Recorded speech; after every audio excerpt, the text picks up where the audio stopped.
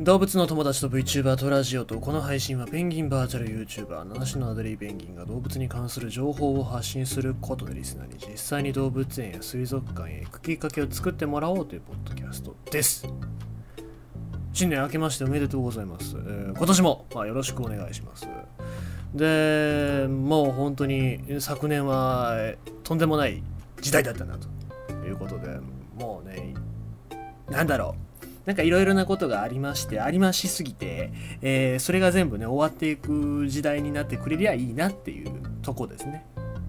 じゃあ今年もなんかそれの引き続きって感じになったら嫌ですから、もう始まったんだったらば終わるっていう、そういう流れに乗ってほしいなと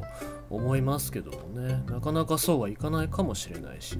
まあそれでも生きなきゃいけないわけです。で、えっと、今日はあの会社の上司があのコロナになったっつって言ったので、えー年明けから僕は忙しいんだなっていうのが、なんかちょっと、ちょっと絶望的なニュースを聞きながら、もう酒でも飲むしかねえなと、そんな感じになってますね。うん、えーと、仕方がないので、今日もね、えー動物の話をして、僕は少し気分を上げようかなと思います。あまりの寒さにコウモリ大量落下救出作戦決行アメリカテキサス州。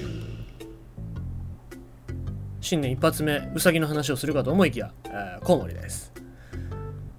まあ、ウサギの話はこれからいっぱいしますから、えー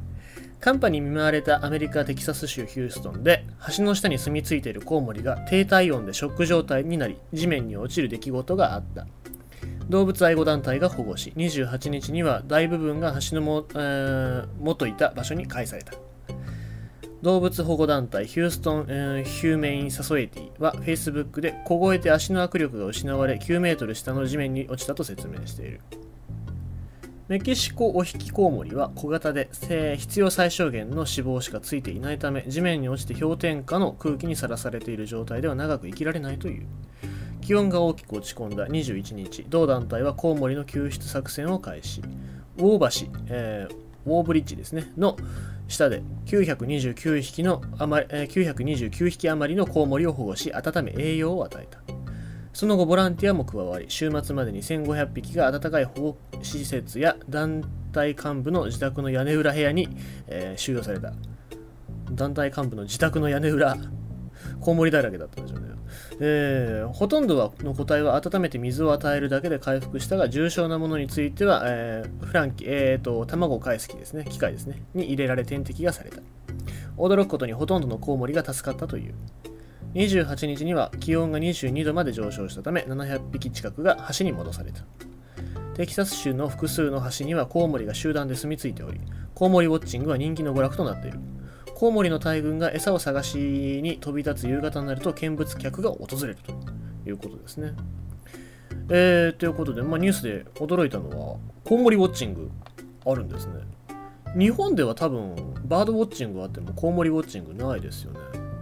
そう考えたらすごいなんか人気の動物ではあるのかもしれないですね。で、アメリカっておそらくバットマンの出身地というか、えー、なんだろう、もうそのアニメの、アニメというか漫画の主人公のね、元になってる、生き物でございますから、そういう面でも、もしかするとコウモリって人気なのかもしれませんよね。えー、まあそう考えるとね、日本もなんかそういうアニメに出てくる生き物だったりとか、その主人公のモチーフの生き物っていうのは、もしかすると人気なのかもしれないですね。今なんだろう？チェーンソーチェーンソー動物じゃないからな。まあでもポチタはね、犬ですけど。あれ犬なのか？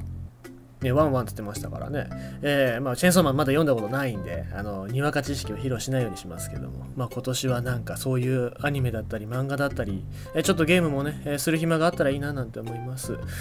えー少し落ち着いて、えー生きていきたいなとは思いますけどもね、えー今年の目標、ツイッターにも書きましたけども、